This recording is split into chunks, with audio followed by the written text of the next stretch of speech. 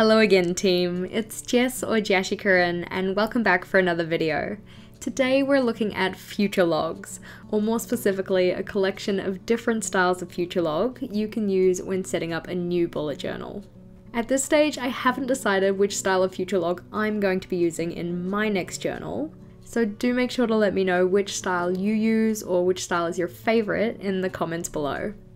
For those of you just getting into bullet journaling, a future log is a space for you to record upcoming events and tasks, ones that are happening on months ahead of any month you've already set up in your journal. So for instance, if the current month is May, but your friend wants to make plans for October, and you don't actually have October set up in your journal yet, you'd record those plans in your future log. Some can be quite simple, some can be a little bit more involved, but today we're going to have a look at some of the different styles you could use. As future logs typically involve a whole heap of little number writing, in particular if you're using styles with mini calendars, so that I didn't have to do this over and over for this video, I decided to make some mini calendars on the computer and print them off. These are sized either so that the full week fits across 8 boxes, or so that each number fits into an individual box in my journal, so a half centimetre by a half centimetre. If like me you'd prefer not to have to write all of those numbers out, I do have these as a free downloadable over on my Patreon. You don't have to be a patron to get them, but do make sure to check that out if you think it would be helpful. On to the ideas though, our first one is inspired by the bullet journal method. Ryder Carroll describes dividing each page of a spread into three horizontal sections so in his version just ruling two horizontal lines across the page. You can see I've added an extra line at the top and bottom just because I think it looks a little better. But then what you do is just go and label each of those sections with the name for each month. To populate this, you then just write out a list of any of the events you have coming up in those months by denoting what day of the month it's happening on and a little description of what it is you're doing. If you're looking to save space though, you can of course divide the spread into 12 sections just by drawing a vertical line down the middle of both pages. That one is certainly the quickest and easiest of the ideas we have, but flipping over we're on to our next one. In this vertical style we have a column for each month where you can record upcoming events. For the one I'm doing here, I've gone with three columns per page, and I've also decided to fit two months into each column. Of course, if you did have quite a few events that you were wanting to record, you could just have one month per column. The headers that I have for this are just the numbers for each month, and then I went in with those mini calendar printouts which are sized to be 8 squares across. Because these are printouts, this one also didn't take too long, but if you had to write all those numbers in by hand, it can be a little more time consuming. If vertical wasn't really your style, but you do like mini calendars, stay tuned for the section at the end of the video where we look at some of my previous future logs. But flipping over, we're onto a style that I haven't used before, but I'm mighty tempted to do so. This one I'm going to call the Jigsaw Future Log.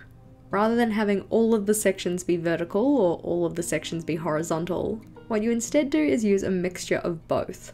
What I did to plan this one out was first start by sectioning off each page into three columns and four rows, and then to make the boxes for each month I just combined two adjacent sections. This one does take a little bit more planning, so I do recommend going in with pencil first. Despite me doing this, I did still manage to missize some of my boxes. So the second box down on the left of each page is a little bit shorter than the other horizontal boxes. It's not overly noticeable though, and this does make for a fun future log. In this style, I again made use of those mini calendar printouts. However, these were the ones where the numbers fit into one square each, so the calendar ends up being only 7 squares across. Given the amount of ruling that needs to be done on this one, it does take a little bit longer than the last future log, but it is certainly a visually interesting style. Over the page, we have another quick future log setup, which is the Alastair method. For this one, you just list the initials for each of the months along the top of the page, and then have a column for whatever symbol you use for your events. I use circles. The rest of the columns are to list the events that you have. When it comes to populating this one, in the first free row, you write down the day number under the initial of the relevant month, and then list whatever the event is on the right. Hopefully that makes sense, but if not, I do have a couple of populated versions of this one when we get to looking at my previous future logs. As I said though, this one is quite quick to set up, and even quicker if you don't draw out all of the circles like I did, and just add them as you need them. Our next one is another style that I've used previously, and this is the Calendex. The design of this one comes from Eddy Hope, and it consists of relatively narrow columns for each of the months. The ones that I have here are four spaces wide, which allows for six months per page. You have the numbers 1 through 31 down the side, and each calendar week is separated with a horizontal line. To populate this one, rather than writing in what events you have, for any day that you have something on, you instead write down what page number you can find the details for that event on. This is where the Calendex gets its name, calendar index. Given the way it works though, the Calendex style does require you to have numbered pages in your journal, either pre-printed or ones that you filled in yourself. One of the helpful things about this style though is that you can really easily see on which days in any month you already have things on. The other future logs we've looked at so far would require you to check all of the day numbers in the month to find that information. As I said, I have used this style previously, so if you wanted to see one that's all filled in, that'll be in the section where we look at my previous future logs. Over the page though and onto another style, which is the mind map future log. The nice part about this style is that because you don't have pre-sectioned off spaces for each month, it means the events for any given month can take up as much space as they need, within reason. You start by putting a title in the middle of the spread, and then branching off this, you have all of the months you want to include. To populate this with your events, you then just draw smaller sub-branches coming off the relevant month. This is certainly one of the more creative styles of future log that I came across when I was researching for this video, and if you wanted to see some of the other inspiration I found, do make sure to check out the Future Logs Pinterest board that I have linked in the description box below. Our next idea is similar to the mind map style, but a bit more structured. For this one, I'm using another printable, but this one is circular. It's also available over on my Patreon, but only to patrons in my $1 tier or higher. After cutting it out though, in each of the 12 spaces I wrote the months of the year and then stuck this into the centre of the spread. To mark out the sections that I'd write my events into, I just ruled in some horizontal and diagonal dividing lines. This style probably works better for people who don't have a whole heap of events to write in their future log, in particular for any specific month, but I've also seen it been used for birthday calendars, which looks pretty cool. It goes without saying that the ideas in this video aren't exhaustive, there are a bunch of other ways you can set up a future log, and of course endless ways you can decorate them. The ones I've set up in this video I've tried to keep a little bit more minimal so you can kind of see the skeleton of it. But you could use different colours, doodles, washi tape, whatever else to make it your own. Along with those ideas though, I do of course have the future logs I've used in my previous journals.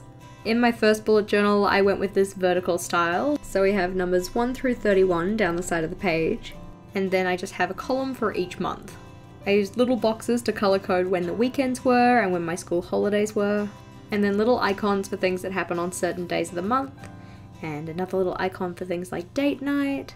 In the larger spaces though, I could just write down what the events were. In my second bullet journal, I went with the Calendex system, so four squares across for each column. I put a list of the events I already knew about down the side here, and I also had my key at the top so I knew which pen colours I was using. Again, I also color coded when my holidays were using these little colored dots, and also color coded when our bin collections were using these little pink dots. I used a similar system again in my third journal, so again having a list of events that I already knew were coming up. But in my fourth journal, I decided to go with this vertical style with the mini calendars. Although this journal ran from July through to December, I decided to start the future log at August because I'd already have my monthly calendar set up for July, so didn't really see the point of putting it in my future log. I used the same style again for my fifth journal, starting in February rather than January for the same reason.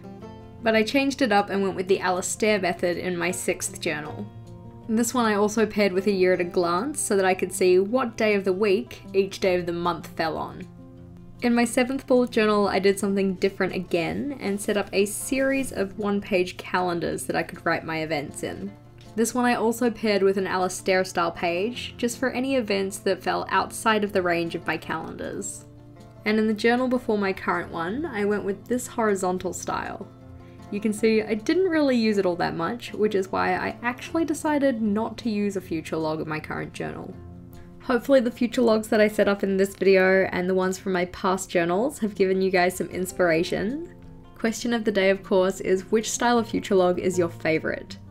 I seem to tend towards the vertical one when I do my future logs, but I'm still not 100% sold on what style I'm going to use in my next journal. As always team, thank you for watching. If you liked today's video, please do make sure to give it a big thumbs up and be sure to subscribe to my channel for more on planning, productivity, and personal development. Until next time, bye!